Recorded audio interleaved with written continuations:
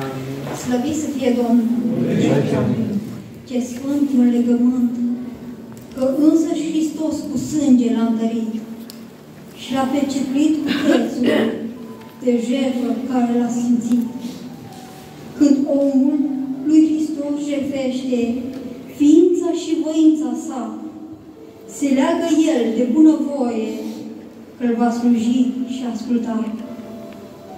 Când omul vine și supune ființa sa lui Dumnezeu, ce poate fi mai sfânt ca asta, mai cutremurător și greu?